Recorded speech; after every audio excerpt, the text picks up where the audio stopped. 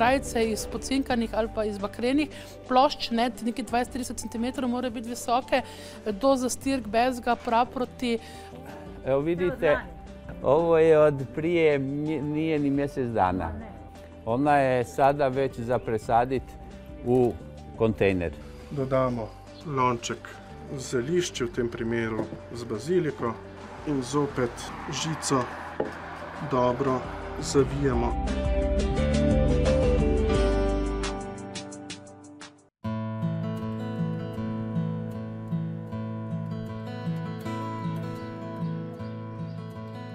Tako zelena je z 277 metrov visoke vzpetine Motovuna sredi maja videti dolina Mirne.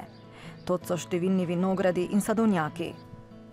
V motovunskih gozdovih so pred slabim stoletjem začeli loviti gomolike oziroma tartufe. Na vzhodnem delu, kjer prevladuje kamniti kras, gojijo sivko. Ta dobro uspeva tudi v osrednjem glinenem in zahodnem delu Istre, kjer prevladujejo rdeča tla. Na njih je v zadnjih letih vse več olčnih nasadov. Mednje so se letos odpravili člani kluba Gaja. Klub ljubiteljev vrtnarjanja praznuje letos 20 let obstoja. 800 se jih je nedavno zbralo v Poreču na tradicionalnem majskem srečanju ob morju, kjer so na predavanjih izvedeli, kako skrbeti za svoje vrtne, balkonske, sadne in sobne rastline. Letos je poudarek samo skrbni zelenjavni vrt, da bi družine razmišljale o zdravi prehrani, da bi jim pomagali pri tem opravilu, pa smo letos na novo oblikovali spletno aplikacijo www.naredivrt.si, ki omogoča načrtovanje vrta, redni dnevnik, kamor upisujemo vse svoje ugotovitve, oskrbo rastlin in spremljanje bolezni in škodljivcev na vrtu ter odprava vseh teh težav. Tudi tokrat smo imeli strokovnjake, ki so prinesli nove vsebine, predvsem zelenjavni vrt v spremenjenih klimatskih razmerah, potem poudarek na balkonskih rastlinah, okrasnem vrtu in trati, zasadni vrt, kako pravzaprav poskrbimo, da imamo dovolj zdravih pridelkov, da si pripravimo tudi zaloge in da smo zadovoljni in srečni s svojim vrtom in z družino. Miša, vaša predavanja se ne končajo po aplavzu. Kaj vas najpogosteje sprašujejo? Katere vrtnine, rastline jih najbolj zanimajo? Ja, sigurno v Sloveniji, na žalost, jaz moram reči, pa moja žalost postal paradižnik številka ena, ne, čeprav bi jaz še vedno res ljudi opozarjam, ne samo na solato, tu ni treba, ker vem, da imajo radi tudi na kapusnice. Na kapusnice smo zelo pozabili, pa posebej po zimi so zelo zdrave. Drugače pa zagotovo letošnje leto vprašanje številka ena so polži, če bi pa tako na splošno rekla pa strune, ne. Polži imajo radi mlade, mehke liste in sladke plodove. Mogoče jih je zatirati sredstvi, ki ne škodujejo rastlinam in okolju, ali pa jim onemogočimo oziroma otežimo dostop do vrtnin. Od tega, da pač okrog gred, da zastavimo, postavimo, to se mi zdi še od vsega, kar zdaj lahko v Sloveniji naredimo, še najboljše ograjice iz pocinkanih ali pa iz bakrenih plošč, ne, nekaj 20-30 cm mora biti visoke, do zastirk bezga, prav proti, tudi polivanje, zalivanje z namočenim bezgom recimo, ampak to mora biti zelo redno, tudi do uporabljanja teh takšnih ali drugačnih vab, pobiranje zagotovo pomaga, če ne za letošnjo pomlad, pa vsaj za jesen, ne, da bo teh polžev manj, ali pa najboljše pa tako kombinacija enega, drugega in tretjega. No, danes ste vseeno povedali, da imamo Slovenci tudi nekaj svojih lastnosti, glede fižola, na primer.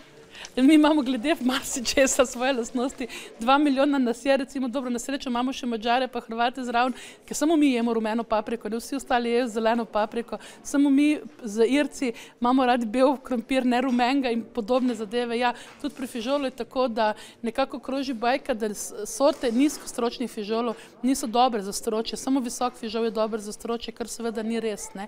Danes imamo že odlične nizke sorte, ki imajo res krasno stročje in tele nizke sorte fižolov ne trpijo poletni vročini, medtem ko visok fižol zdaj že tretje leto zapored, pravzaprav je v lanskem letu v avgustu metal cvetove dol, ker je bilo preprosto prevroče in se ni oplodil. Pa še nekaj je, mi smo visok fižol bolj ali manj prepodili z vrtov, nekam žičnice, nekateri so se znašli, pa ga spet sadijo na koruzo, kar je prav seveda, ampak stročnic nam pa na vrtu manjka. Stročnice manjkajo v naši prehrani, mi pojemo premalo rastlinskih beljakovin, na vrtu so pa stročnice izboljševalke zemlje in bi jih mogli imeti čim več. Zdaj s tem, ko nimamo imamo visokega fižola, ki je stročnica številka ena, ko imamo samo nizke sorte graha, ki so zelo kratek čas na vrtu, v bistvu delamo tudi vrtu tako mini škodo. No. Tako da nizek fižol bi pomagal obojnim, ne tistim, ki si želijo tudi poleti jesti stročje in pa, tist, in pa naši zemlji na vrtu. Na letošnjem srečanju so si ga Jani lahko ogledali tudi nekaj tisočletij star poreč, se sprehodili po Limskem kanalu, mestecu Žmin ali med sivkami v Višnjanu. V drevesnici družine Prgomet pri Rovinju pa so se učili cepljenja olk, sajenja fig in priprave potaknjencev. Ovo su topli, takozvani topli stolovi, zato što ispod ima grijanje. Ovo radi na bazi podnog grijanja. Peć, cirkulacija tople vode i temperatura ovog substrata je negdje oko 22 do 25 stupnjeva. Znači to je idealna. Ovo je takozvani substrat, to jest agroperlit. On je vulkanskog porijekla i koristi vam se uglavnom recimo kao izolacioni materijal u građevinarstvu.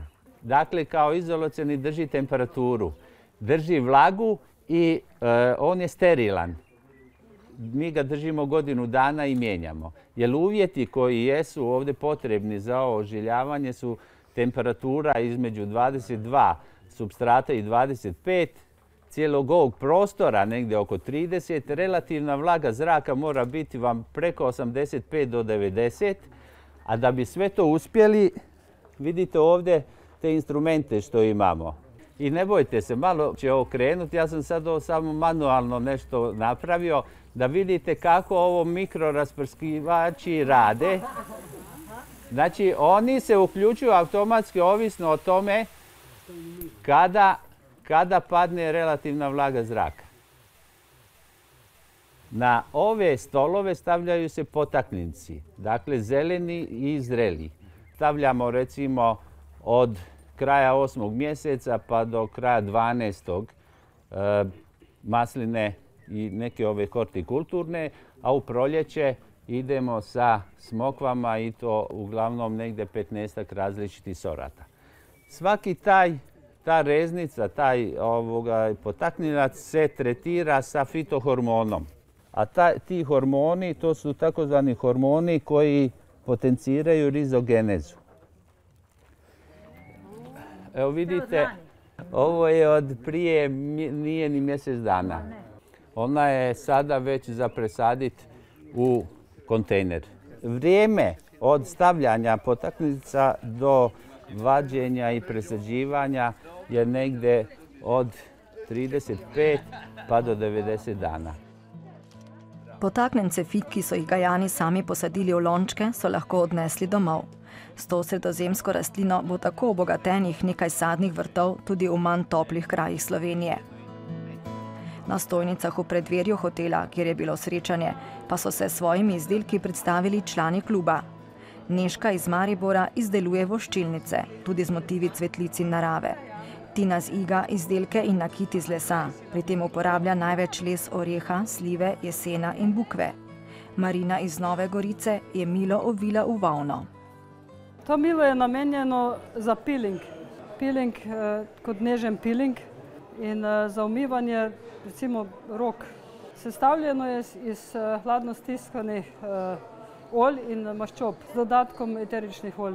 Uporabljam sončnično in kokosovo olje in olivno olje. Nekaj tudi palminega dodam. Poleg omenjenih olj, ki vlažijo in mehčajo kožo, Marina milom dodaja še kozje mleko in med. Milo na to počiva.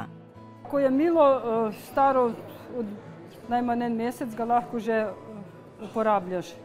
Pol ga oblečem v volno. Temu postopku se reče polstenje? Polstenje ali filcanje domače. In ga tako viješ v volno. Lažje je kvadratno milo, ne? je lažje obleči, kot pa to je malo težje. Ma. Ker tesno ovijete okrog Ja, tesno in enakomerno. Ga to, deset minut ga tako oblikuje, mislim, da se, da se volna sprime, da se dlake sprimejo skupaj. Ne. Potem skončaš s, s hladno vodo, da se sfiksiraš, da se pritisne. In to je to. čisti vodi splakneš in posušiš, čez noč se posuši na toplem in je že uporabno. Z milom v volni se Marina umije po delu na vrtu. Pravi, da tako lažje z rok odstrani zemljo in umazanijo, saj milo deluje tudi kot nežen piling. Kot vsako leto so se člani kluba Gaja tudi letos po tridnevnem druženju v Poreču rašli z obljubami, da se prihodnje leto znova srečajo. Da bi smehom leto hitro minilo, so članice iz Trbovelj pripravile lutkovno predstavo. Tudi ta je bila povezana z vrtom. V glavni vlogi je nastopal deževnik Maxi.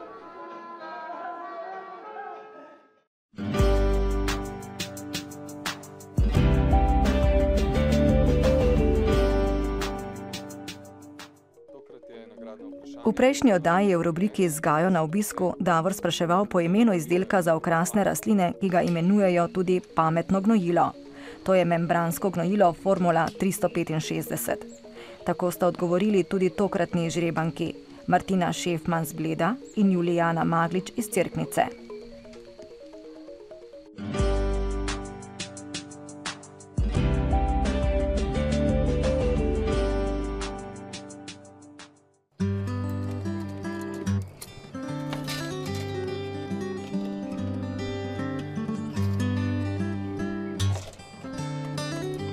Dejansko smo res včasih, ko kar dosti govorimo o zdravi prehrani, o pridelavi zdrave prehrane.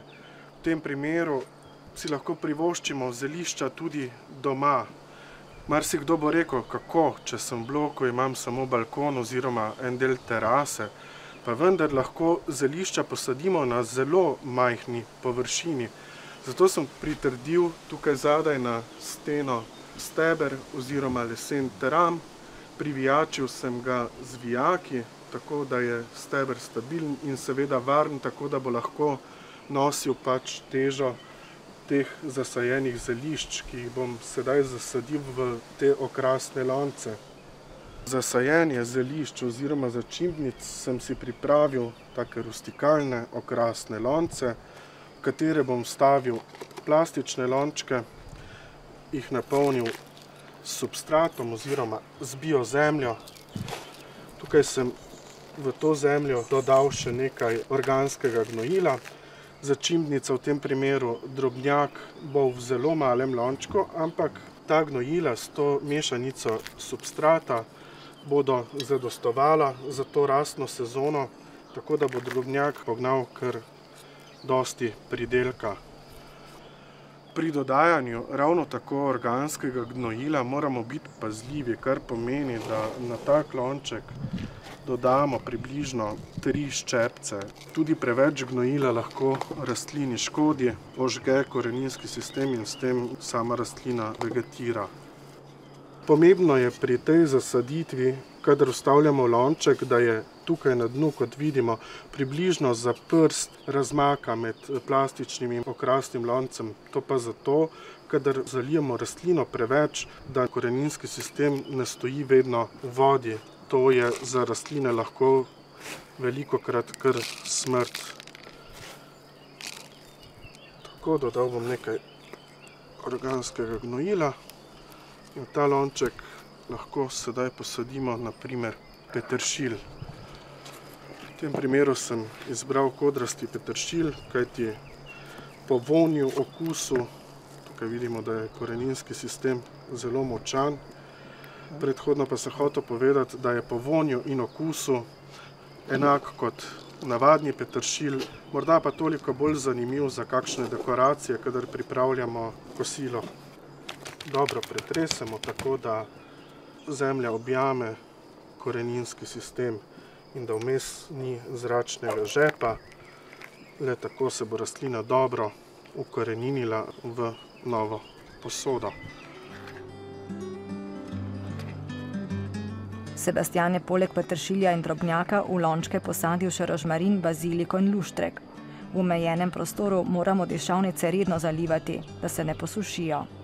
Sedaj, ko so zelišča že posajena, je na vrsti steber oziroma pritrjevanje lončkov na ta steber, ki je pripravljen za zelišča. Za pritrjevanje potrebujemo točkalo, s katerim si delno izvrtamo luknjo, to luknjo pa privijačimo kaveljček z navojem. Ne potrebujemo ne vem kako velikega kavlja, ker so lončki majhni in ne pretežki.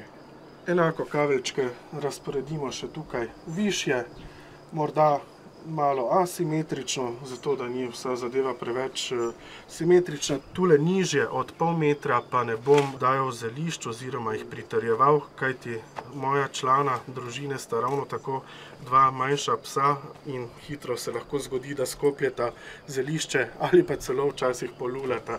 Tako da bomo zadevo nekako prilagodili tudi psoma.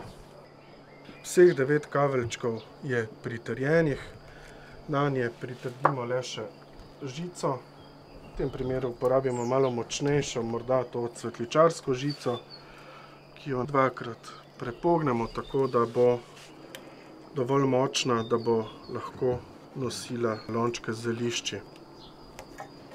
Tako, žico pritrdimo, tako da jo ovijemo okoli kavlja in še morda trikrat, štirikrat zasučemo eno okoli druge.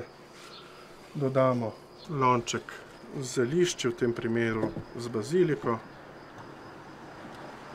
In zopet žico dobro zavijemo eno okoli druge, tako da je lonček resnično stabilen, tako da nima možnosti, da bi s tem, ko hodimo mimo ali obiramo zelišče, pač padel na tla. Na enak način bom pritrdil tudi še preostalih osem zelišč.